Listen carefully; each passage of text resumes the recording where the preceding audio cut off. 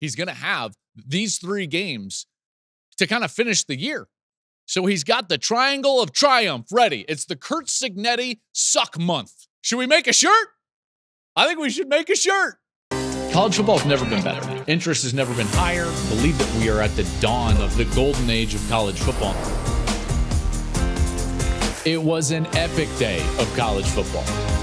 It was one of those days where you fall in love with the sport all over again.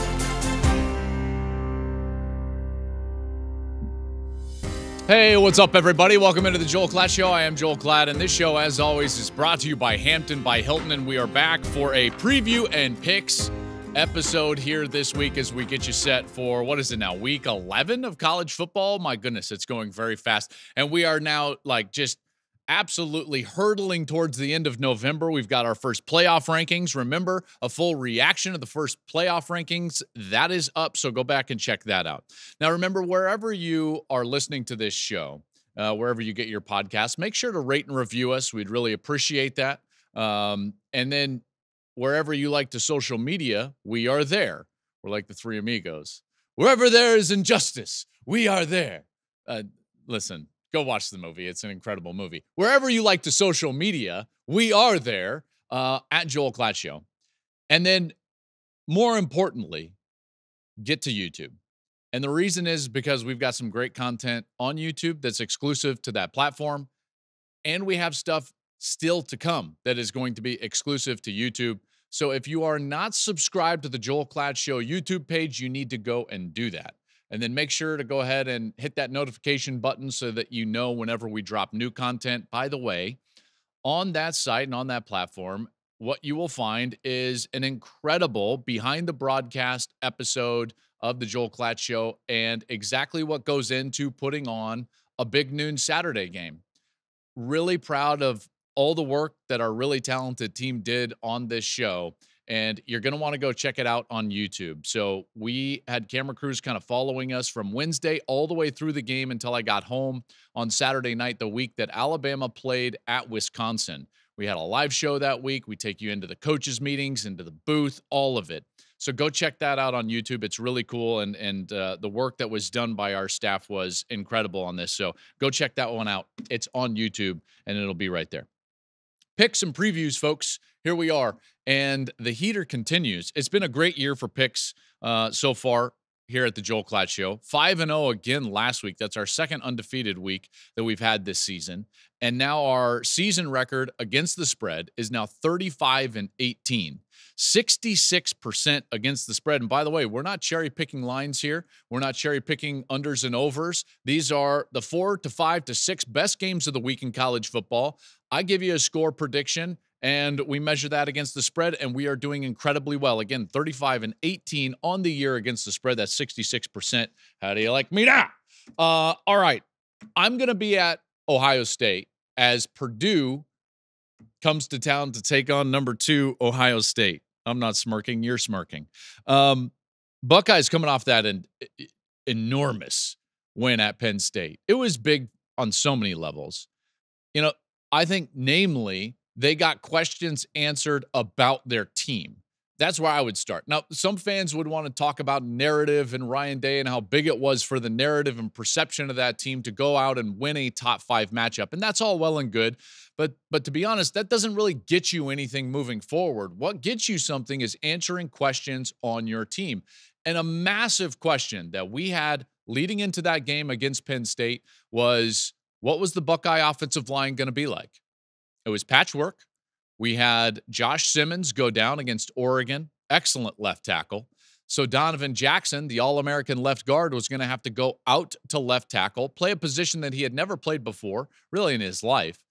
And then the backup center, Carson Hinzman, was going to go in at left guard, a position he's also never started at in his college career. Patchwork. And they were going to go to a place that was going to be difficult to play with the crowd noise and against that defense for Penn State. I was very concerned for that aspect of Ohio State's team. I thought that Penn State would play much better on the defensive front than what they did. And you got to give the Buckeyes a lot of credit. So they're coming off a game in which they answer the question of the offensive line emphatically 40 carries, They ran it for four yards, uh, over four yards a pop. And now moving forward, you're like, okay, well, if they can move the ball on Penn State and run it effectively, shouldn't they be able to run it effectively for the better part of the foreseeable future? The answer would be yes. The answer would be yes. Purdue is coming off that overtime loss to Northwestern. They've lost seven straight. They won their first game and they've lost seven straight. Back to the Buckeyes. The defense has figured things out. Ryan Day's defense is a defense that has gotten better since the Oregon game. They clearly, that was the outlier. Just like Georgia had the outlier defensively in the first half against Alabama, you got an outlier game for the Buckeye defense on the road against Oregon. And you got to give Oregon a lot of credit. They went out there and created the explosive plays. And they did that largely because they've got a really experienced quarterback. They protected him really well, and he was able to strike down the field to incredibly talented and more specifically fast wide receivers like Evan Stewart. Since then, the Buckeyes have cleaned up their act on the defensive side. They've only allowed one touchdown in the last two games. One.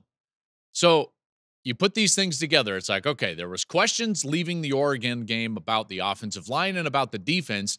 And in subsequent weeks, what we've gotten is two games worth of answers about the defense. They've played terrific against both Nebraska and Penn State. And now you've got this answer about the rebuilt offensive line. That's the most important part of what's going on right now with Ohio State. Will Howard had a couple of costly turnovers. He's got to play better than that moving forward. And again, Purdue will also be there. Uh, let's move to LSU. Uh, Bama is going on the road to face LSU. Night game in Death Valley. Alabama is 11th in the country. LSU is 15th in the country. And yet, here's Alabama on the road, favored by two and a half over Brian Kelly's squad, the home team in LSU. Now, I think that it's it's conventional wisdom to sit here and think to yourself like, ah, you know, people don't go in there at night and win these games. And LSU beat Ole Miss. LSU is going to play better than they did on the road against Texas A&M, and that might be the case. That might be the case. But these are massive massive moments for each of these programs. And the reason is, as we've talked about before on the show, I believe that this is an elimination game. The loser of this game likely does not get into the college football playoffs. I do not see a three loss team going to the playoffs. If you play this thing out and you create scenarios about What's the record that we can project for teams like Miami and Texas and Penn State and Indiana and BYU and maybe SMU and Notre Dame and all these different programs? There's not a path for a, th- a 9 and 3 uh, SEC team. There really isn't. Even for a team like Alabama with a win over Georgia, I do not see that path, which means that this is essentially a playoff game. And I think both teams need to play like that. Huge for Kalen DeBoer, huge for Brian Kelly. These guys need this. They need this badly. The question that keeps coming up to me in, in kind of looking at this game is, is Alabama's ability to keep the explosive plays at a minimum against LSU and Nussmeier, the quarterback. Remember the last time we saw Bama's defense, they were pitching a shutout against Missouri, and that was a banged up Missouri team at the time. Now, you know what I feel about Missouri. I don't have to continue to hammer away at Missouri, but that was not a team that was going to threaten Alabama, and they didn't. LSU can offensively, and this defense is going to have to play well. It's going to have to play really well. When I look up and, and I look at, at Nussmeier, I, I think about the fact that he has turned the football over too much recently. In the last four games, he's thrown seven interceptions. All right, including that huge one against A&M that changed the complexion of that game. Let's not forget LSU had a 10-point lead in the third quarter against A&M on the road in Kyle Field. Like that's still this team. This is still the team that beat Ole Miss even though they didn't have the lead until the actual end of the game. Having said that though, like Bama has given up some explosives. This has been my concern since way back when I saw the South Florida film and prepared for the Wisconsin game. There, there are structural deficiencies to Alabama's defense. You can run on the edge and you can create explosives down the field. That's still available. Can LSU do that? Um, remains to be seen. I think what's more important is the fact that Nussmeier needs to take care of the football. We know that. Texas A&M's defense did a really nice job shutting LSU's run game down, and they made them really one-dimensional. That's what Alabama's going to have to do to LSU. Nussmeier's thrown it 50 times in two of their last three games. Again, that would favor, in my mind, an Alabama team. And then you move to the opposite side, and, and you think to yourself, like, can LSU really stop Jalen Milroe running the football? If if past performance is indicative of future performance, then I can unequivocally say, no, they're not going to stop Jalen Milroe. Why do I say that? Well, they didn't stop LaNorris Sellers of South Carolina. He ran for 88 yards and two touchdowns, and he only played in the first half of that game. And A&M, Marcel Reed, he ran for 62 yards and three touchdowns, and he only played in the second half of that game. So here are these two mobile quarterbacks that went out there and only with a half put up some big numbers against this defense for LSU. And you expect me to think that LSU is going to go out there and stop what I would deem to be the best running quarterback in the country, the most explosive running quarterback in the country, and a guy that we expect is going to play all four quarters? I just don't see that, guys. I don't see that. I get it. Like the environment will be great and LSU at home and it's Baton Rouge and it's Death Valley at night. But Death Valley at night cannot overcome deficiencies when you do not stop the the opposing team's quarterback in, in particular when he's running the football. And by the way, Milroe is not their only weapon running the ball. See, this is what's so difficult about Alabama is that they're really dynamic running the football even outside of their quarterback. You got Justin Hay- Justice Haynes, Jam Miller, Richard Young. Last time out, they ran it for 271 yards on seven per carry against Mizzou as a whole on the run game. So, do I believe that LSU is all of a sudden going to fix their problems with mobile quarterbacks and show up and play great defense? I do not see that. I do not see that. Even if they do, Bama still has the ability to throw it to Ryan Williams, who, by the way, has been kind of quiet since that Georgia game. You hear where I'm headed with this, right? Bama's favored by a reason and maybe by not enough. I don't think the two and a half is enough. I like Bama on the road at night against LSU to win this 35 28. I just don't think LSU is going to be to, o- able to overcome the one dimensionalness of their offense and the fact that they do not stop a running quarterback. For those two reasons, I've got Bama 35, LSU 28, tied by seven, covering the two and a half in a must win. Let's move to the Ole Miss game. Georgia at Ole Miss. So Georgia comes in at number three in the country in the new playoff rankings. Ole Miss is at number 16, and Kirby is rolling into town. And so here's the thing with this game. I think it's going to be very in vogue to say, like, hey, Georgia's been struggling a little bit. Their quarterback, Carson Beck, it just hasn't looked like Georgia. And look at Ole Miss. Ole Miss is coming off a game in which they were on fire offensively. So if we get the best version of Ole Miss and the worst version of Georgia, I kind of like the Rebels. And it's like, well, but wait a second. What generally happens in big games for Georgia? They show up. They show up. Their floor is so much higher than Ole Miss's floor and I just can't trust Ole Miss to play that well two straight weeks. Let's just remember the 63 points were great against Arkansas. Jackson Dart threw for just south of a billion yards, which is a great game, I've, been told, and six touchdowns in that game. Ole Miss is not entirely healthy on the offensive side, so Tre Harris has been banged up. He's a he's a beautiful player, top five I think, wide receiver in the country. He's missed the last two games, and their starting running back, Hunter Parrish, is out with a serious knee injury that he suffered against Arkansas in that game. Jordan Watkins has stepped up for them. And listen, offensively, I do like what I see. And you're not wrong if you say if Beck turns it over and Ole Miss plays well offensively, that Ole Miss has got a shot. They absolutely have a shot. There's there's no doubt about that. Georgia in a big game, though, folks. Like past performance is indicative of future performance. What do we know about Georgia? When the chips are on the table, they generally play well. And here's the thing with this Georgia team, I don't even think that they have to play great on offense in order to win this game because we've seen them on the road with their defense, totally stifle one of the better offenses in the country. We saw that against Texas. We saw that against Texas. And I'm sitting up there and I'm like, hasn't Georgia won 52 straight games against any team not named Alabama? The answer to that is yes. The answer to that is yes. Again, we cannot expect Georgia to go out there and sleepwalk in a big game because that's not what they do. This defense is too good. And for me, Ole Miss, there's just too many reminders of, of a team that I just covered in Penn State. Everyone was was super on the bandwagon of Penn State last week, and I get it, and there are reasons to do that. But the simple fact remains is that past performance is indicative of future performance. And the fact was, Penn State had not shown that they were going to win a big game. And Ole Miss is the same. You can't trust them to win a big game until they prove that they can. All right. And so here's the thing Ole Miss is 0 4 against top five teams under Lane Kiffin. They're losing those games by an average of 21 points. Nothing suggests to me that all of a sudden Ole Miss is going to put together this game that I've never seen before.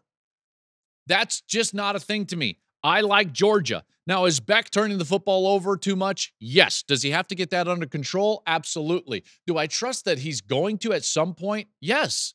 Yes because he's far too good to be throwing 11 picks in the last five games, most in the country, by the way, over that.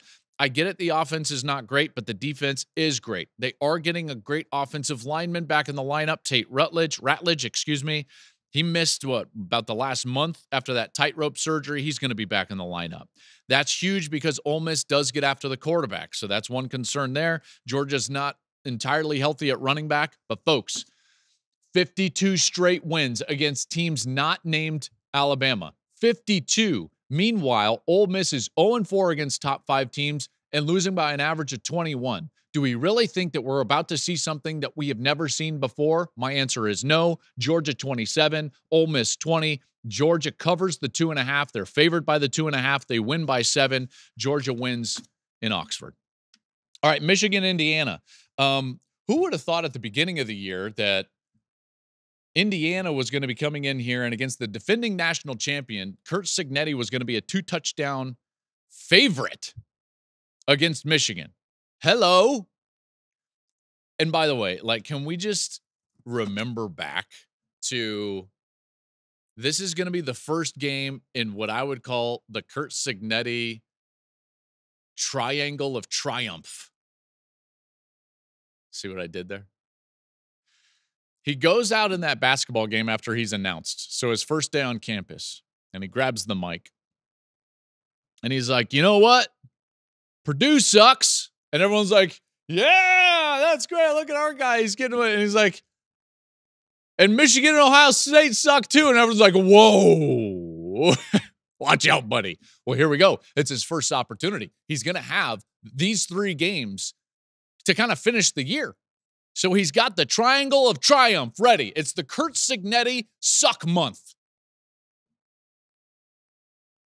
Should we make a shirt? I think we should make a shirt. The Kurt Cignetti suck month. Here's his first opportunity to prove that Michigan sucks. So here we are.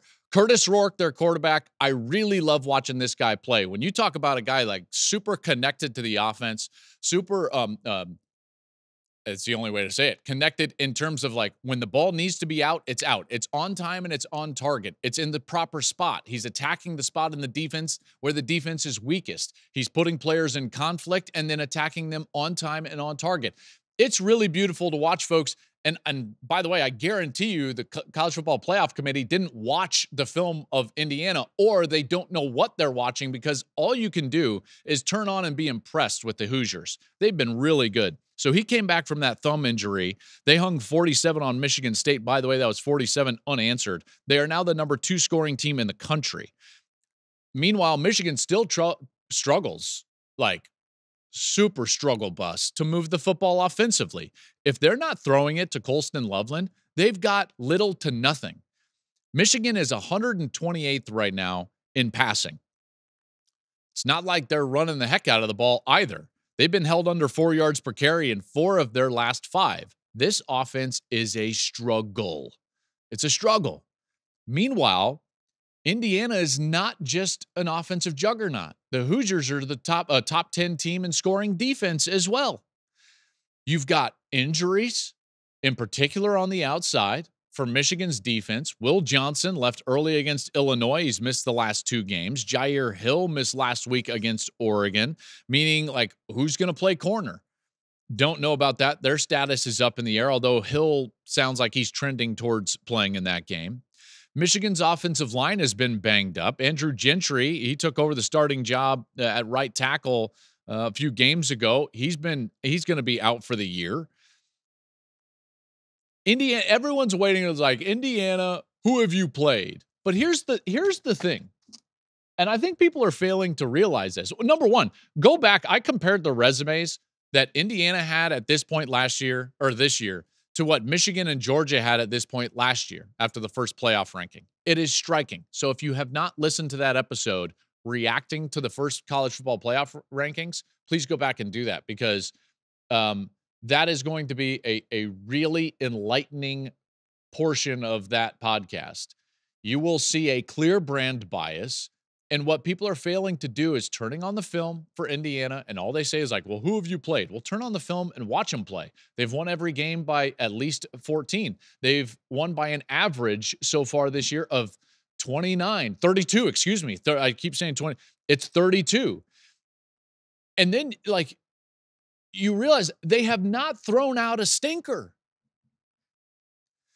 Every team in the country, everyone, has played at least one game where you sit back and you think to yourself, like, what was that? What was that? That was on, like, I would categorize the left side of the bell curve, on the poor side of the bell curve. Indiana hasn't done that.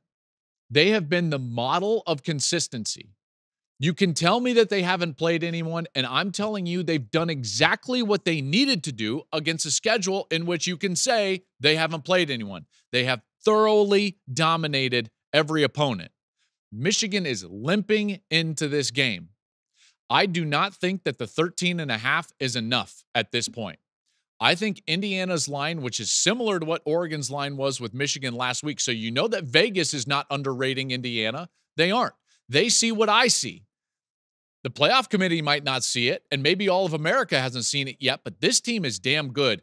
And trust me when I tell you this, because of the sentiment that Kurt Cignetti had at the beginning of the year, not just they're like, oh, Michigan sucks and Ohio State sucks, the sentiment that like, he's got a chip on his shoulder. And now he realizes that he's going to have to go prove it with margin. He's going to have to go prove it because no one's respecting Indiana. And he's going to think to himself, like, well, will they respect this? They will not take their foot off the gas. I like Indiana 31 14 over Michigan in a huge win. They cover the 13 and a half. Give the 13 and a half. Indiana will not stop on Saturday. And this is a better team than Michigan. In fact, at this point, a far better team than Michigan. This is easily a top six team in the country. They did not get ranked there by the College Football Playoff Committee. I do believe that that was brand bias. They will win this game and I think they win it big 31 14, Indiana over Michigan.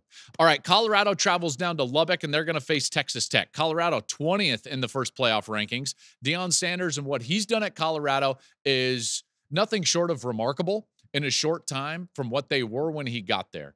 Not a lot of people want to give him credit. Not a lot of people want to actually dive in and see that this team is is fundamentally a really good football team at this point. It is not all flash. It is not all PR. Their defense is is good to quite good, in particular in the second half. Shedeur is likely the best quarterback in the country. Travis is likely the best player in the country, and they're going to be tough to beat. That's a reason. There is a reason why they are three and a half point favorites in this game on the road against Texas Tech. Texas Tech, I think, is going to be their hardest game for the remainder of the season. They're going to face Utah next week. By the way, we'll be there. Big Noon Saturday, we'll be there. I cannot wait to get back to Boulder um, and and watch this team. But this one is going to be their hardest game. They've got Utah, then they've got Kansas, then they've got Oklahoma State. This is their hardest game. They need some help from Kansas State, probably someone to knock off Iowa State. If that happens, This team is going to be in line to go play for a Big 12 championship, which means that they would be 60 minutes away from playing in the college football playoff, two years removed from losing 11 games by an average of 29 points. Remarkable. It's remarkable. And no one wants to give him his flowers. And it's like, fine, I guess I'm going to have to be the guy, although I don't I don't want to have to be the guy as an alum to be like, hey, everybody, Deion's doing an incredible job, but I guess I'm going to be that guy. Tech is coming off that upset win over uh, Iowa State last week. And again, this is going to be Colorado's toughest job. I think a lot of this comes down to the defense for Colorado. Rob Livingston has done a great job with that defense. He's their coordinator. They've been terrific, as I referenced earlier, in second halves of games in particular. They're allowing six and a half points in the second half on average. That's seventh best in the country, folks. Okay, so they're playing well on the defensive side. I really loved what Joey McGuire from Texas Tech said this week in his press conference. One, he's familiar being a former high school coach with Sanders and the Sanders, you know, um, kids in terms of playing. He actually coached the eldest Sanders. He's got a lot of respect, and rightly so. Shedeur is the best quarterback in the country. Travis is the best player in the country. They can throw it on anybody as long as Shedeur is getting some time, and that's what they've provided.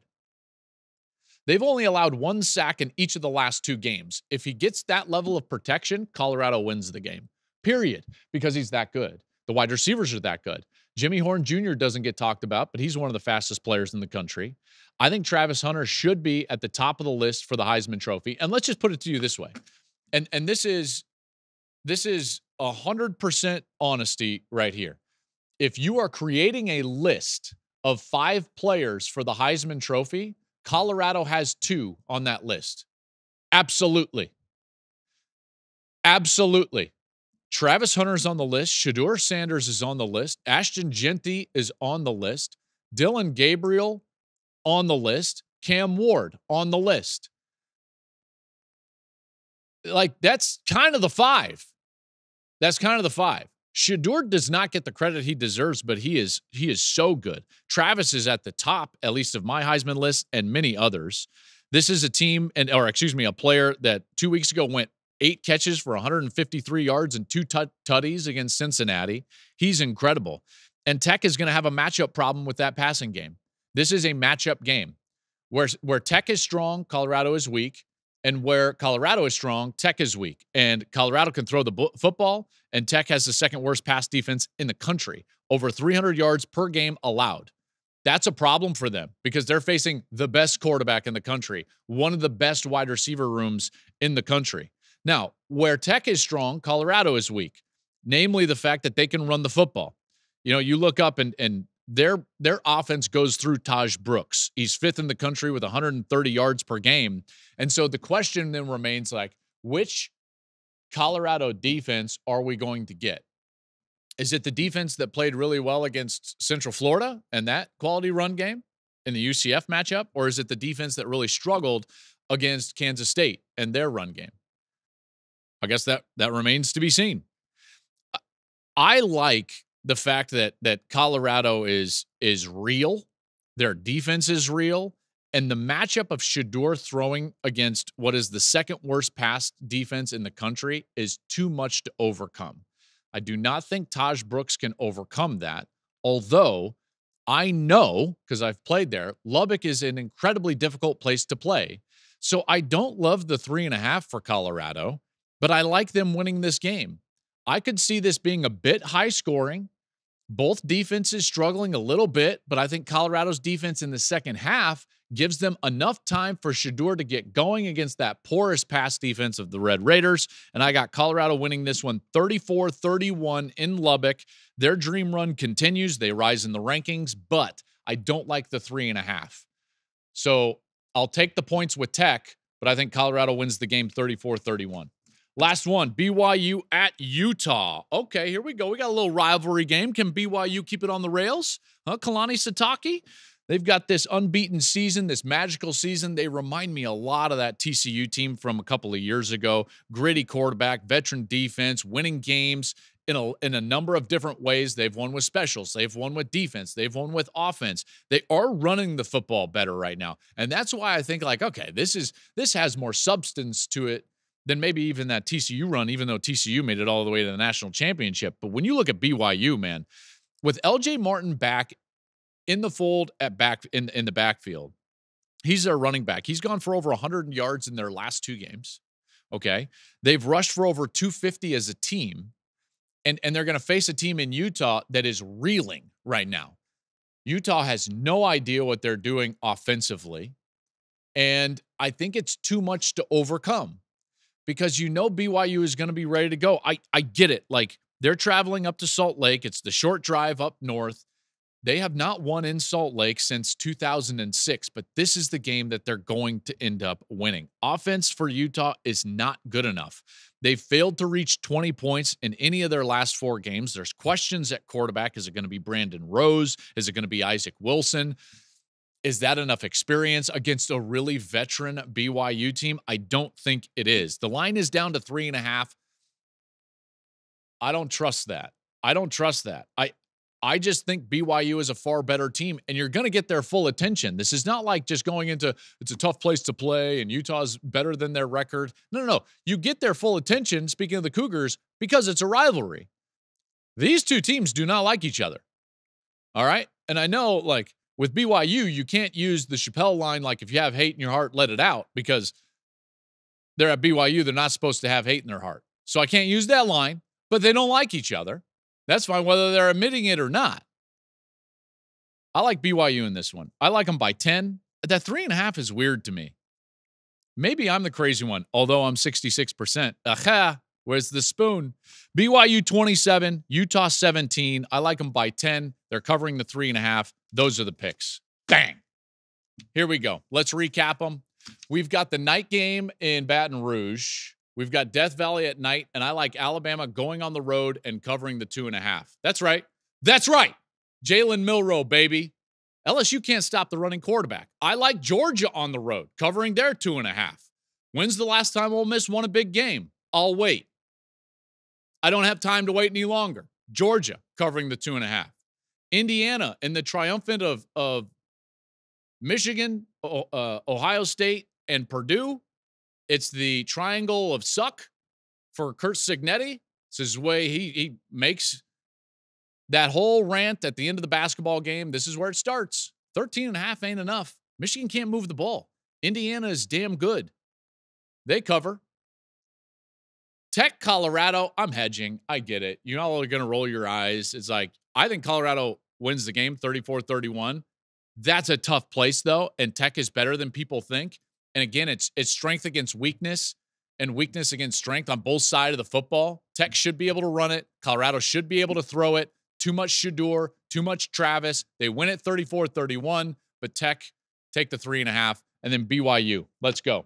Again, you cannot say BYU. You have no hate in your heart, BYU. I'll say it for you. If you have hate in your heart, let it out. It's a great rivalry game. They don't like each other. They'll be ready. Three and a half ain't enough. Three and a half ain't enough. We're 35 and 18, folks. 5 and 0 last week. And I will not say that I'm confident this week because every time that I say that, we go we go 1 and 4. So I I don't know. I'm taking road favorites. I'm I'm I'm given 13 and a half like am I confident? Not really. So we'll see how it goes. Make sure to get to YouTube. Okay, again, we've got that behind the broadcast video up. You're going to want to check it out. It's really great. And everybody on the crew here did such a phenomenal job on that video. So I want you to go check it out. Follow us on social media at Joel Klatt Show. I'll be in Ohio State, Purdue, traveling to Ohio State. We'll see how that game winds up. And uh, we'll be back. When will it be? Monday. We'll be back Monday, recapping what I know will be a great weekend of college football. Have a great weekend, everybody.